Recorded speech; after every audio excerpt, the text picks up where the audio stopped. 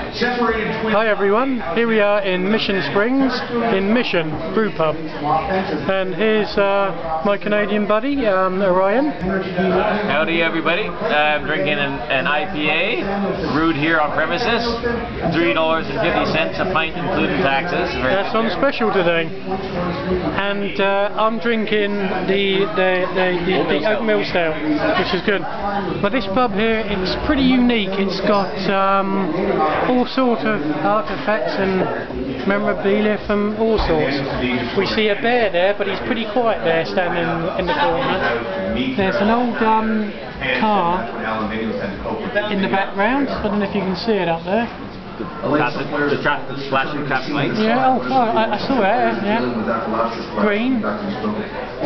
Oh yeah, green's around the corner. And uh, Wagon thing on there. yeah, there's a wagon, wagon trail. Carvings all over the place. And uh, yeah, that, is it Kenko? Show the bar stools. Bottom, see how they're made? They're on top of those are, are wheels from cars. Yeah. Wow. Handmade. This is good. Uh, we're playing along defensively, offensively. Oh. And here's uh, here's Marty. Um, yeah, the oat milk stout is very uh, very nice, and it's unique because it's only brewed here.